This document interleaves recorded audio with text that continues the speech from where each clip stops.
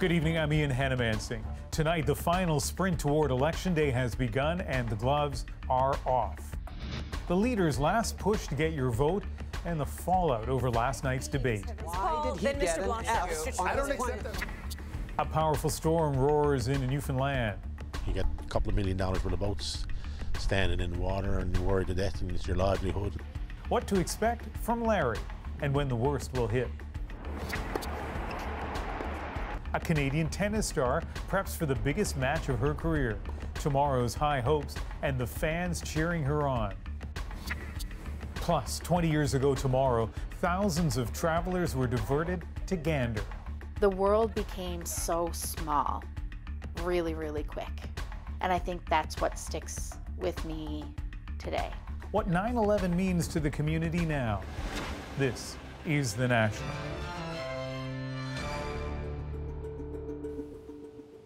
We expected that our first federal election during a pandemic would be unusual. At times, it was quiet, sometimes ugly. But now, as usual, the last few days will bring a sense of urgency. There are 10 days left in the campaign. Last night's English language debate was the only one on the schedule. And now, with every event, every interview, the stakes get higher. As Travis Dhanraj shows us, as opportunities to make an impression with voters run out, the campaigns are ramping up. We're all in this together. A rare show of unity, all five leaders coming together to encourage Canadians to get vaccinated. Get the shot. But now the gloves are off in the final fight to the finish. The leaders racing through a dizzying schedule of battleground ridings. Erin O'Toole targeting Liberal held ridings in the Greater Toronto area today. What I will commit to is being a partner to Mayor Crombie. And Mississauga, the GTA, is an incredible part of our national economy. Justin Trudeau was also in that region hoping to pick up votes. Ontario, Quebec, and BC, all key provinces for the leaders to target in the coming days. All of this after a big debate last night that was expected to be a game changer. You may repeat as many times as you want that those are discriminatory laws. Part of the conversation today after concerns about the questions and claims the format was limiting. I think, you know, there's a lot of people commenting on uh, the ease of uh, interjecting during this uh, last night's debate or not. Um, the moderator was herself interrupting Monsieur Blanchet while he was uh, delivering the answer. I didn't think that adding my voice uh, was right. It really limited the ability of the leaders to sort of debate each other and to really be able to give a, a, little bit more time to be able to flesh out some of their ideas and to give Canadians, I think, some more um, specific information that they're looking for on various policies and initiatives. Two of the party leaders cast advance ballots today, joining other Canadians making up their minds. All right, here goes. Underscoring time is running out before September 20th. Travis, it's a group of media organizations, including the CBC, responsible for organizing the debate. So, how has the, the consortium responded to the criticisms? Well, good evening to you, Ian. Well, the debate broadcast group, they got back to me tonight and they are explaining how they came up with last night's format. It says after reviewing over 20,000 responses from Canadians right across the country, a team of journalists from CBC, APTN, CTV News, and Global News decided on the most important issues and then decided on those five themes for last night. The group maintains the format allowed for a fair and balanced debate on ballot box issues, but added it will be evaluating and reviewing all aspects of the debate to see how improvements can be made for future elections. Ian. All right, Travis, thanks. Some of the complaints about last night's debate were focused on one question directed to Bloc leader Yves Francois Blanchet. You deny that Quebec has problems with racism, yet you defend legislation such as Bills 96 and 21, which marginalize religious minorities, Anglophones, and allophones. Those bills ban some civil servants from displaying religious symbols and make French the only language required to work in the province. Please help them understand why your party also supports these discriminatory laws. The question seems to imply the answer you want. From Quebec's premier today, outrage. That was an attack for sure.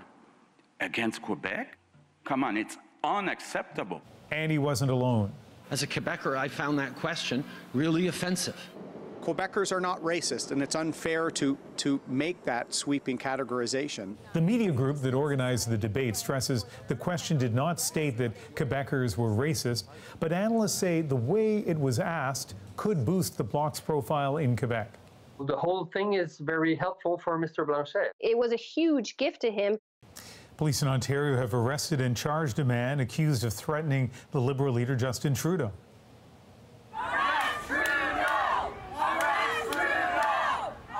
It happened during this rally in Cambridge last week. Trudeau was met by angry protesters hurling obscenities and death threats. The 32 year old from Kitchener is due in court later this month. And we want to let you know about something special that we're doing starting on Sunday, face to face with the leaders of four national parties with seats in the House of Commons. Your stance on the pipeline is a hard no. Mm-hmm. A hard no shows me that you're turning your back on those Canadians. That's what it feels like. What is your government going to do when the next country, after Brexit talks or whatever, come in and ask for more market access? The leaders going one on one with voters, answering your questions face to face. I just want to ask you what you're going to do to help us. Last year. Well, where is the money coming from? Well, Sorry to cut you no, off. No, no, not. Moderated by our chief political correspondent, Rosemary Barton, Sunday through Wednesday, 8 p.m. Eastern on CBC News Network and right here on The National. To eastern Newfoundland now, where Hurricane Larry is bearing down on the island's east coast.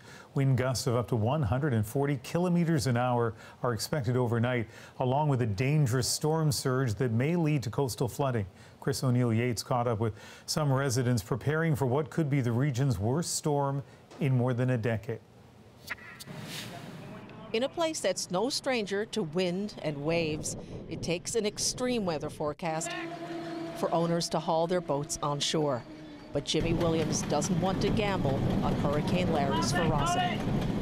I'm up to uh, keep my boat from getting smashing up in storm. I figured the safest place to have her is on land. This bay, like many in the trajectory of Larry, is open to the high winds and waves that will lash this coastline. You're going to get seas in the bay that's probably seven, eight feet high. Con O'Brien works with a tour boat company they already moved the larger vessels to a more sheltered location. This is the last one out, just in time before Larry strikes. You get a couple of million dollars worth of boats standing in the water and worried to death, and it's your livelihood. And Harbour Master Sharon Locke is doing the rounds. These are the offloading uh, docks here where the boats come in. Locke is switching off power to the cranes that offload crab and shrimp catches. What could happen if you didn't turn it off? Uh, well, the doors, uh, of course, the doors could blow open here, and of course, anything with electricity powered on, it was still powered on, I mean, could catch fire or anything could happen here, right? Around St. John's, trees and power lines are often dangerously intertwined. That's a concern for the power company, with Larry bearing down. Stay in your home, and especially tomorrow is going to be a lot of debris, limbs wires down across the road. So stay in and give the crews uh, a, a chance to clear the roads at least. Back in Bay Bulls, even though their boats are safe on shore, it will be a sleepless night for these guys. I'll be down here at 2 o'clock tomorrow morning watching the wind. Still be here watching because we're looking forward to, I guess, seeing what it's going to do. But we won't be as worried now, so that's, that's, uh, that's the main thing. They've done their best to keep their boats safe, hoping Larry won't do its worst. Chris O'Neill Yates, CBC News, Bay Bulls, Newfoundland. Well, things sure are different now in St. John's. It's already Saturday morning, and meteorologist Ashley Brauweiler joins us and uh, describe what you're in the middle of right now, Ashley. Well, the winds are whipping. It is pouring rain. In fact, I just heard uh, there's some scaffolding down the street. I'm outside my house uh, in St. John's. There's some scaffolding down the street that just fell uh, and I'm really worried about that heading across the street. You can see these gusts. In fact, I even have to hold on to the door frame at some point. It almost knocked me over earlier. And we're expecting these winds to continue for most of the night tonight. We're looking at gusts upwards of 120, uh, even 140 kilometers per hour. We may even see some gusts in excess woo, of 150 kilometers per hour, Ian. And, and you know, I, I, did say if you don't feel safe, definitely get out of there, and we won't keep you there for very long. Uh, tell me a little bit more about what Newfoundland is expecting. Yeah, so as we head through the overnight hours. We're looking at those winds gusting. Uh, the rainfall right now, uh, somewhere between 20 to 40 millimeters of rain, but it's falling very quickly, and we're going to expect that to get uh, to end as we head into the early morning hours, even looking at some sunshine by the time we get into uh, daybreak. All right, Ashley, nice job. And of course, we hope you get inside where it's dry and safe uh, right away. Thank you so much. Thank you, Ian. Let's turn now to COVID. It is surging in Saskatchewan, but the province isn't imposing any new restrictions. There were 432 new cases today. That is just short of the record of 443, which was set last Friday. Health officials are predicting both of those figures will soon be eclipsed by counts in the 500s. And those same officials have urged the Premier, Scott Moe, to bring back mask mandates. He didn't, and that disappoints some people who have firsthand experience with the damage COVID does. Bonnie Allen has more. Laurel Schaefer has been heavily medicated ever since she contracted COVID 19 nine months ago. I was considered recovered within 14 days, and let me tell you, I'm far from recovered. The 35 year old mother of two used to be healthy and active, but now she suffers brain fog, migraines, and deep fatigue. I'll be so thirsty, but I can't roll over in bed to even grab my water bottle because that takes too much. Um, I can't, in those moments, stand any sort of light or noise, so I can't have my children even in the same room as me. As cases surge, Schaefer is speaking out, upset by the lack of restrictions in Saskatchewan it's just incompetent and really um, negligent. Today, Premier Scott Moe reinstated a public health order that requires COVID 19 positive people to self isolate. That hasn't been the case since July 11th. The province is also reducing elective health services to ease pressure on the system. But no indoor masking mandate, no province wide vaccine requirements for events or public facilities. And I know some of you uh, may be here wondering why I'm not imposing, you know, broad restrictions and mandates here today. And I've said before, restrictions are a stopgap measure. They were always intended to be temporary, and they were to get us to a point where vaccines are largely available and accessible, and they are today. We're doing the worst, and this premier is choosing to do the least in response. Nurses are feeling demoralized, defeated, depressed, burnt out. There needs to be some relief in the system. Schaefer is worried about her children, still too young to get the vaccine. I do not want any child, let alone my child, to end up like me. She's warning other healthy people to wear masks and get vaccinated, even if the government isn't forcing you to. Bonnie Allen, CBC News, Meadow Lake, Saskatchewan. And vaccinations could soon be available for younger kids as well. Pfizer's partner BioNTech has told German media it's set to ask for approval for vaccination of children as young as five. Officials in the United States have told Reuters they expect to give that approval by the end of October. Canada's National Advisory Panel on Vaccines is now recommending a third shot for some Canadians who are immunocompromised. As for the rest of the population, the committee says it's looking at the data, but still too early to recommend a third shot. A woman in Kamloops, British Columbia believes her mother died in part because the local emergency room was short staffed. And while officials haven't revealed the details of the case, a doctor says the ER has lost 25% of its nurses. Brady Strachan has the story. Oh, they say money talks, but all mine says is bye. Bonnie Hall remembers her mom Susan as a fun-loving and gentle woman. Susan Tasson was in good health, but on Tuesday she started complaining about stomach pain, and so Bonnie took her to the emergency room at Royal Inland Hospital. You know what a place to what a place to die. Um, devastating. Hall says the emergency ward was full of patients with only a few nurses on staff. She says they sat in the waiting area for six hours as her mother's pain increased. And I know there were a couple of times where mom, my mom said to me, you know, should we just go? And I said, you know, oddly, eerily enough, I said, you know, maybe we could go, but if something happens, God forbid something happens, that you, we are here and there's, they can do something if something does. But then Hall discovered her mother had suddenly died in the waiting room. The exact details of what happened remain unclear as health officials have declined to comment due to privacy issues.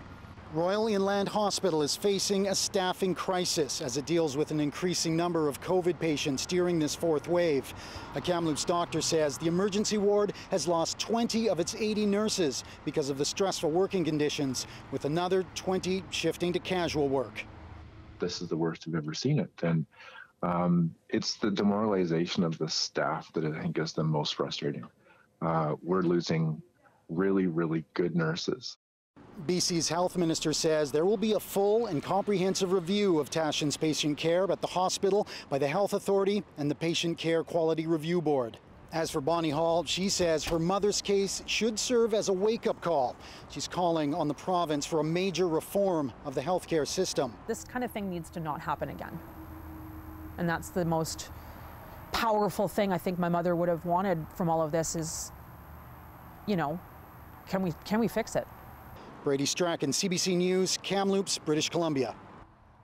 Well, let's shift now to the Canadian economy, where 90,000 jobs were added last month, marking the third straight month of gains. But as Jacqueline Hansen shows us, the labor market certainly hasn't made a full pandemic recovery yet.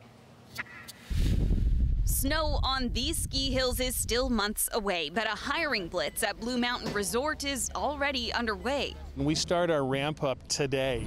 To bring the full operation to life requires 1,200 new hires. Finding all of them could be a challenge. This summer, the resort could only get 80% of the workers it needed, so some services were scaled back. I think there is a little bit of fear that working in, in hospitality, especially in forward facing service positions, that they might not be the best choice for somebody at this point. Most of the jobs added in Canada in August were in the services sector, but employment in hotels and restaurants is still below pre pandemic levels. And Canada's economy overall has 156,000 fewer jobs than it did in February 2020 there are a lot of job openings, but uh, it doesn't seem that uh, the, the labor supply is there. Reports of businesses struggling to rehire is something the head of the Bank of Canada said yesterday his team is trying to understand. Analyst theories range from workers switching industries to reduced immigration or laid off workers relying on government aid instead. You would think at some point it would start pressuring wages, so businesses may have to increase uh, what they're paying uh, new staff in order to attract uh, workers. And that's something we haven't seen yet. But that pressure on businesses could be coming. And as cases of COVID 19 climb again, they also face more potential economic uncertainty. We'll really have to get past the Delta shock for, the, for employment to continue strengthening. At Blue Mountain, full employment is key to the resort's recovery. We have the people that want to visit the destination. We need the staff and key to the recovery of Canada's entire economy, though getting there may still be an uphill climb. Jacqueline Hansen, CBC News, Toronto. For Canadian tennis fans, this has been an incredible week, and it isn't over yet. After cutting a path through top seeded rivals, tomorrow Leylah Fernandez competes in the U.S. Open finals. Paul Hunter is at Flushing Meadows, where the 19 year old Montrealer is already a sensation. There she is today on the practice court, cool as ever, just doing her thing. Canada's Leylah Fernandez getting set for tomorrow's women's singles final at the U.S. Open. Can you believe it? Those who came today to watch her sure can. When she beat Osaka, I guess this, this girl has a big chance. Not least Filipino American Edward Gaddy. For him, the story of Fernandez with her Ecuadorian dad and her Filipino Canadian mom has inspired his whole family. And you bet they watched her semifinal win last night. It's just unbelievable. I'm ju jumping all over the place. I, I, I, watched it on TV last night with my wife and my kids, and we're all jumping. That semifinal thriller underlined another reason so many have fallen for Fernandez the sheer joy she seems to exude. On the grounds of the Open today, with tickets for tomorrow's final in hand, Jeff and Jolene Funky, who flew in from Vancouver, underlined they love her positive energy. Truly Canadian, really, is really what it is to me. Like she's just here for the fun. She's here to entertain the crowd And uh, yeah, it's just she's just a lot of fun to watch. And to win a Grand Slam tennis tournament. That as well, yeah. There is, of course, an obstacle in the path of Fernandez, Britain's Emma Raducanu. Born in Toronto, like Fernandez, an upstart teen now on one of the biggest stages in tennis. They'll face each other for the championship tomorrow. A third Canadian born player, Felix Auger Aliassime, today fell just short of the final, losing in the men's semis. What a week for Canadian tennis, and especially Fernandez. These Montrealers will be in the stands tomorrow and have a message for her from Quebecers back home. I would say just enjoy the moment, have fun, and uh, be proud because we are proud of what you're doing right now. So, Paul, usually you have sage political analysis, but let's talk tennis. What, what's your sense of the kind of match we'll, we'll see tomorrow? Um, a good one, I hope. Um, look, these two have uh, these two have played each other before, Ian, a number of times uh, on the junior circuit, so they know you know they know how each other behaves on a tennis court. Um, but look, this ain't the junior circuit. Tomorrow, each of these players is going to be under more pressure than they've ever faced in their entire lives playing tennis. The winner will almost certainly be the one who best deals with that pressure. And it's worth noting that throughout this tournament, Fernandez has been adept at dealing with pressure. So we'll see. All right. Fun assignment, Paul. Thank you. With the 20th anniversary of 9 11 tomorrow, many are thinking back to that terrible day, and some are still living with the consequences. 9 11 didn't end on 9 11. Every single day, more and more people in the 9 11 community are dying from their cancer. Up next, the health effects that continue for some. And later, the small town 9 11 story that captured the imagination of the world. The principal came on the intercom telling students to bring their books home. That's when we're told we had to turn the school into a hotel. We go back to Gander, Newfoundland, and the week that changed lives forever. Plus, the success of Leylah Fernandez has a Nova Scotia woman thinking about her own time on the court. Well, I just loved it. I just went on playing as long as I could. At 104 years old, she's doing what she can for the next generation of Canadian tennis stars. We're back in two.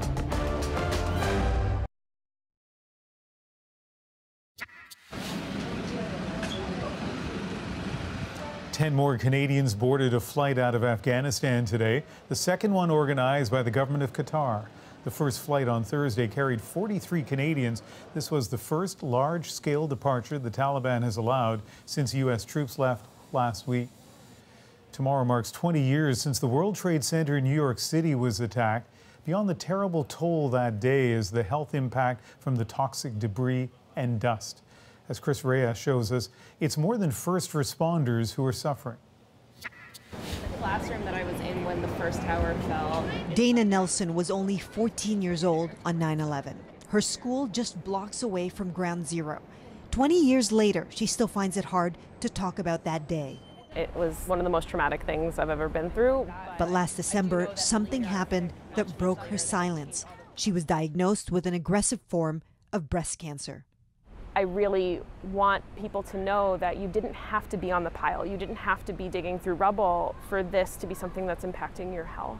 The government funded program now helps Nelson pay for her cancer treatment. Lawyer Michael Barasch represents Nelson and many others like her. He calls them the forgotten victims of 9 11. Hundreds of thousands of civilians, students, office workers, residents who went back to the area when they were told the air was safe. 9 11 didn't end on 9 11.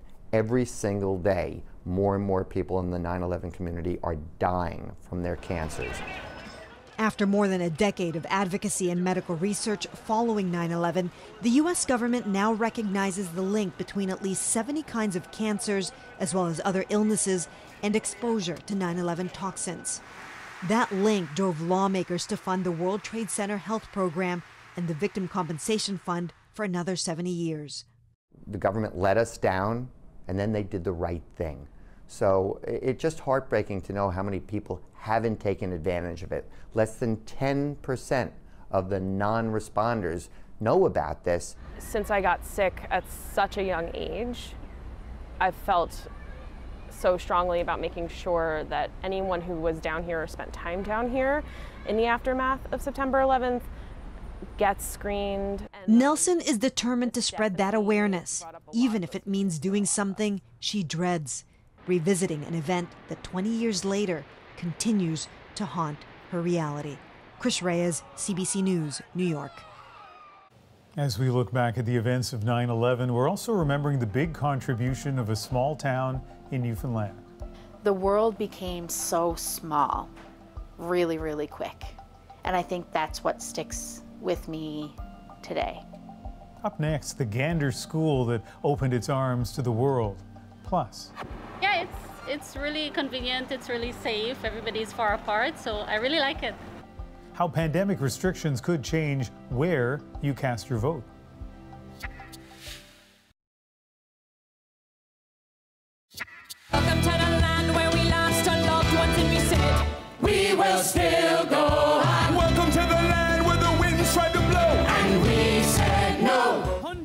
So good. The cast of the hit musical Come From Away performing a free show on the steps of the Lincoln Memorial in Washington this evening. This is the first time they've performed live since the pandemic shut the musical down in March of last year.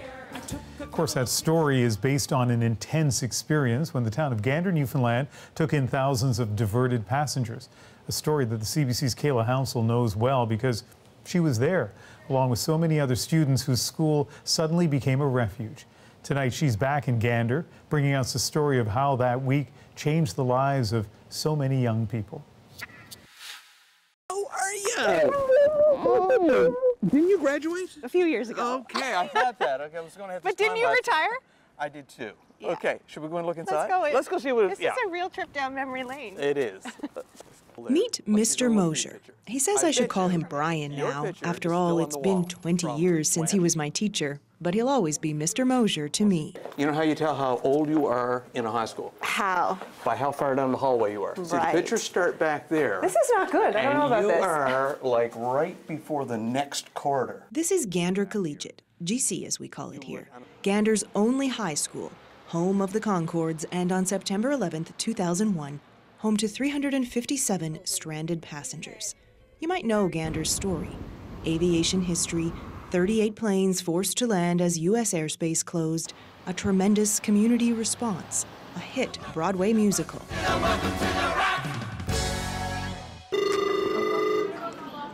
That moment rings through these halls, etched in the memories of the people, students, and teachers. Uh, this is your first year in an advanced math course.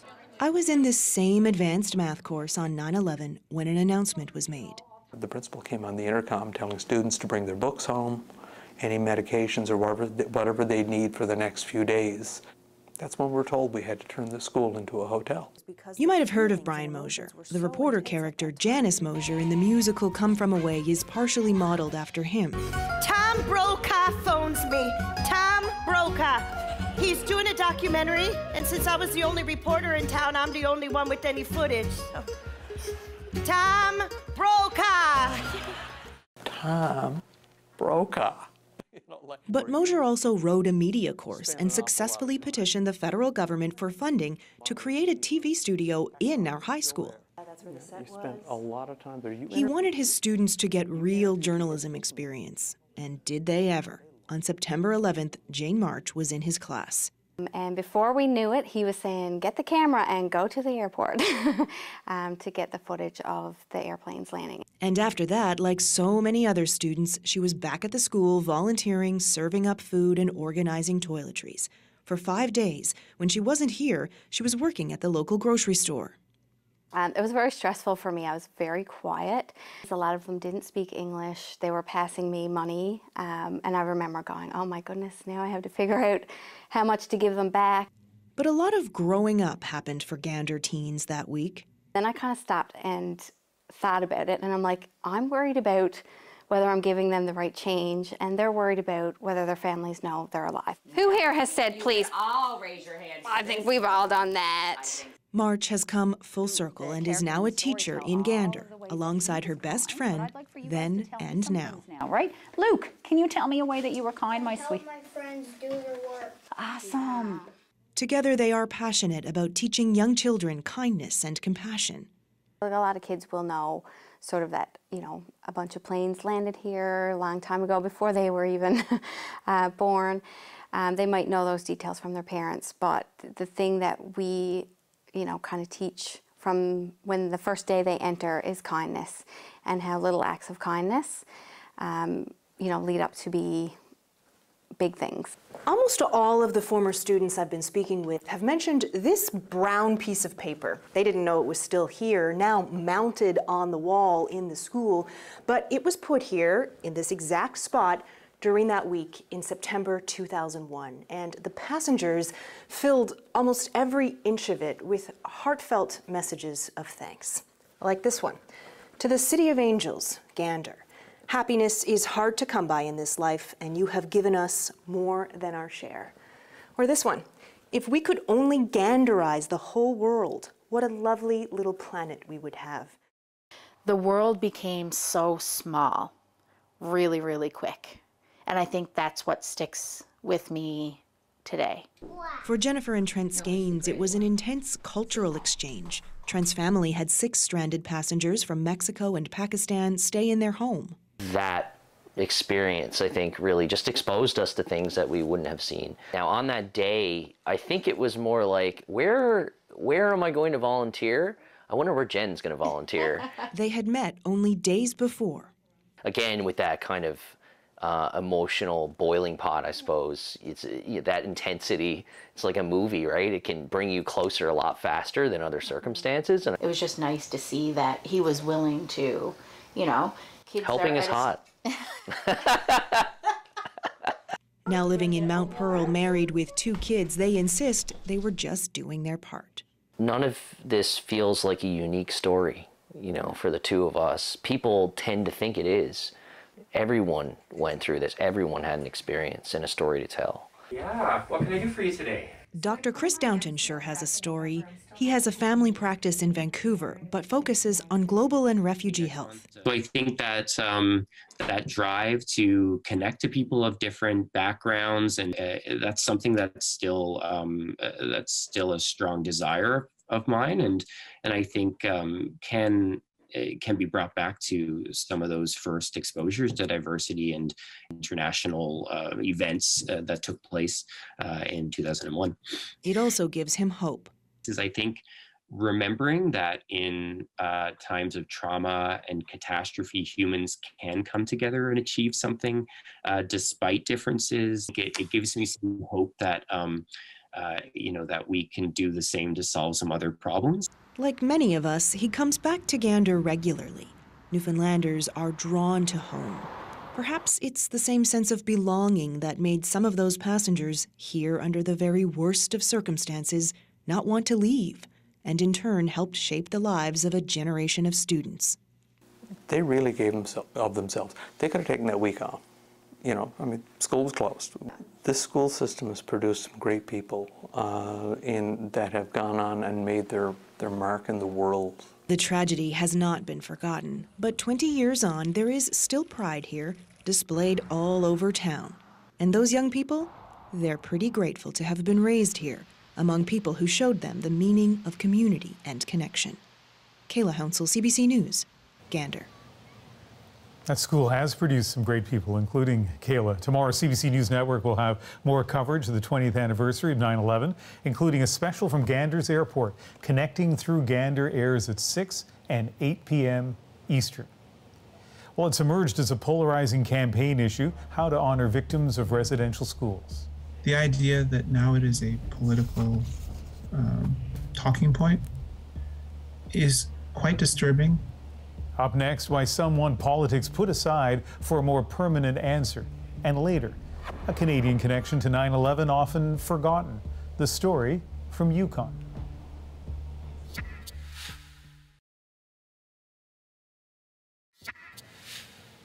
Welcome back. With the federal election just a little over a week away now, advanced polls open today across the country, and some voters were in for a surprise, having to travel further away to cast their ballots at a polling station.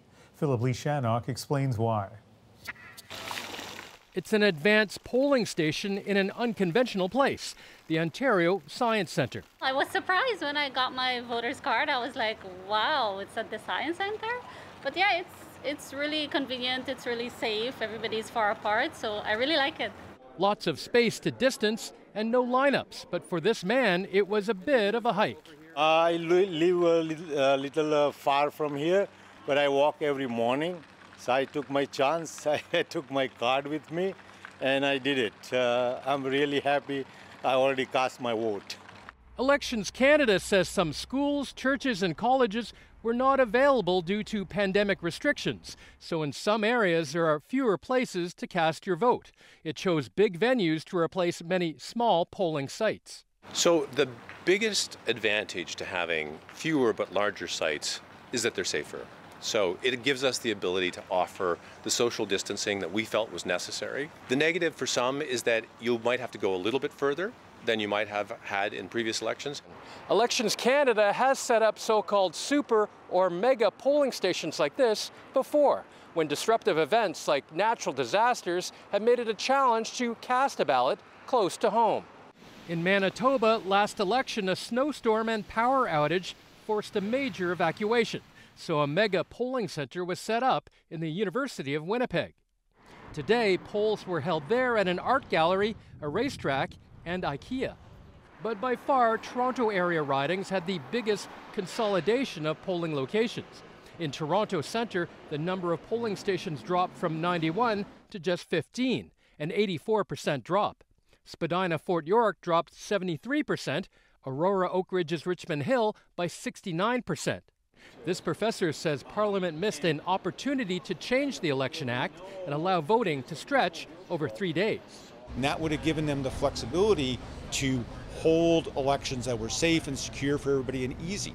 For voters who aren't comfortable voting in person, mail in ballots can be requested until Tuesday. Philip Lee-Shanok, CBC News, Toronto. A new issue has cropped up in this election race on a subject few expected to become divisive those flags flying at half mast across Canada honoring the victims of residential schools. They've been lowered since May after the graves of hundreds of Indigenous children were detected. So, what's the issue? Olivia Stefanovich explains. A symbol of a country in mourning, suddenly being politicized on the campaign trail. I'm very proud of our country, despite the scars from our past. The conservative leader now says it's time to raise the flags. I have said that this September 30th, the National Day of commemorating truth and reconciliation, we will do that as a country to recommit to reconciliation. And we will then raise our flag as a sign of that commitment of building a strong and better Canada in the future.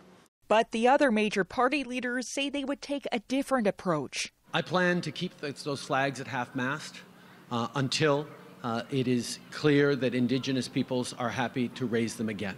Well, I absolutely agree that there is a, a symbolic power in lowering the flags. What I really want to see is that every single one of the Truth and Reconciliation Commission's calls to actions are implemented. The idea that now it is a political um, talking point is quite disturbing National Indigenous leaders are calling for the maple leaf to remain lowered at federal buildings until they reach an agreement with the government. That is an ultimate sign of respect that um, was never given during those children's lives. But some Indigenous people are concerned the longer the flags remain at half mast, the less meaning the honor holds. If you stop noticing, that loses its value. This former Truth and Reconciliation Commissioner says instead the focus should be on building a national monument. That would be something that would be a living reminder um, and, and somewhere where people would be able to gather. No matter when the flags are raised, the next federal government will have to grapple with the enduring impacts of residential school and a painful legacy many Canadians are finally demanding be addressed. Olivia Stefanovich, CBC News, Ottawa. We all remember Gander's 9 11 story, but what about Whitehorse? They'd blocked off the highway, blocked off the airport. Up next, the fear that gripped residents that day.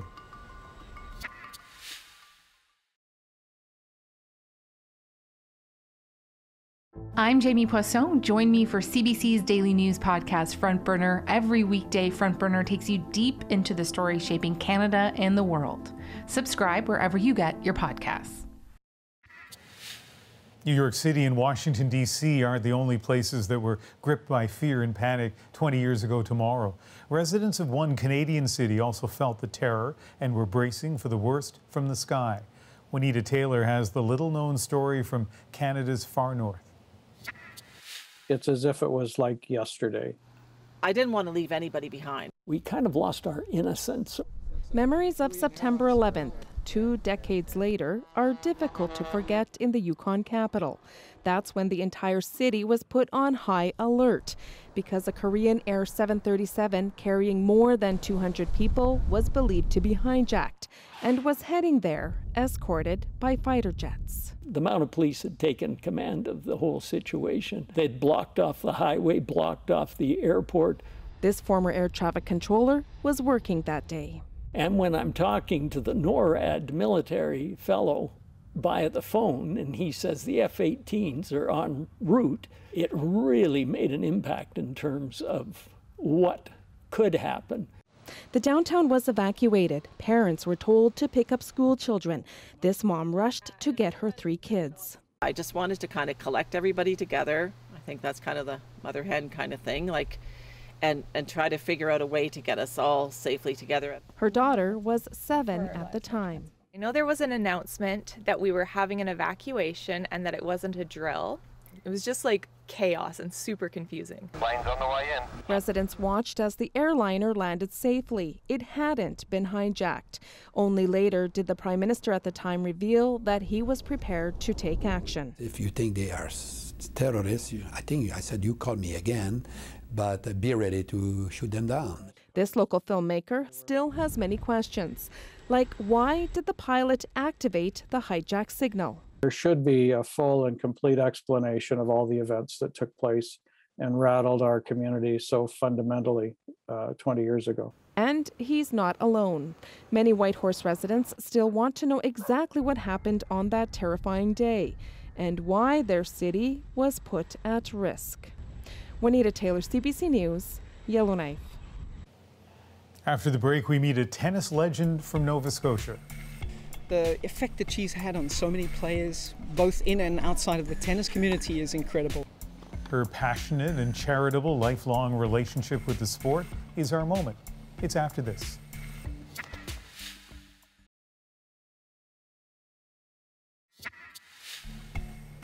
Joe Ford turns 104 this December, but don't let that age deceive you.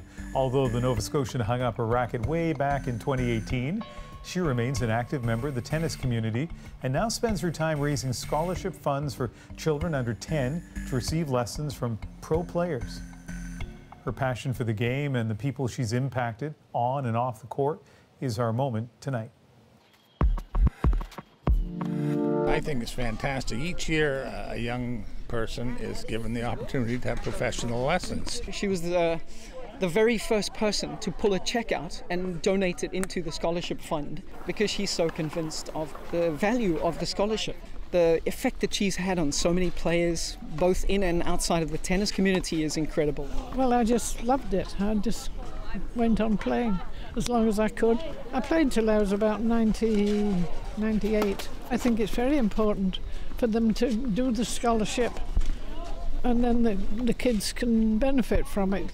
This event has really blossomed. It started small, it really started to grow, and it's it means a lot. And even though she's no longer playing tennis, tennis is still in her blood. She loves it. She's just so special. She truly is special.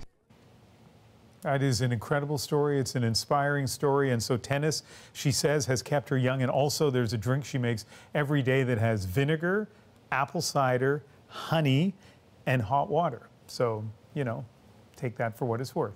That's the National for September the 10th. I hope you can join me on Sunday for Cross Country Checkup on CBC Radio. That begins at 4 p.m. Eastern, 1 Pacific, and later that evening back here on the National.